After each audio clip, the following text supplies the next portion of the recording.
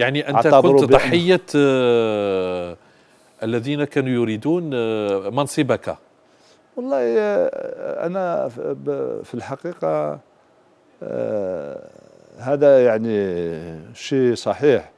المشكل كامل المنصب هذاك لكن نقول لك في 2019 كان فيه مؤامرة كبيرة من طرف مسؤولين.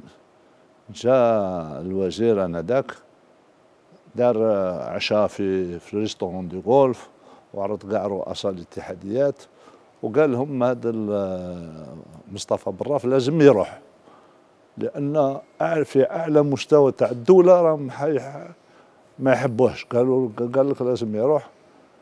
قلت أنا اجتمعت المكتب التنفيذي في الليل وقلت لهم يا جماعة أنا راني مريض ولازم نحبسوا هذا التناقضات وكذا المشاكل وكذا. هذا ممثل الدولة يقول لازم بالرافي يروح أنا نروح.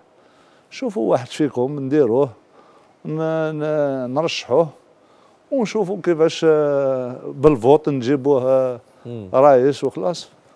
جماعة منهم آه، تقريبا قريب كلهم راهم في المكتب التنفيذي ومنهم اللي داروا هذه المؤامرة. قالوا لي لا لا ولازم تكمل حتى عهدة وحدة ما شوف هذه العهدة وخلاص وكذا. نطقت الأخت بولمرقة نحييها بالمناسبة قالت يا ودي هذه ماهيش خدمة وكذا والتدخل هذا الحكومي ما غير مقبول وكذا. نأجلوا الانتخابات.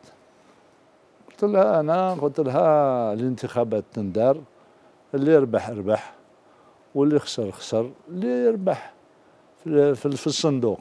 يقعد في المهام تاعو واللي يخسر في الصندوق يروح لدارهم. وأنا منهم.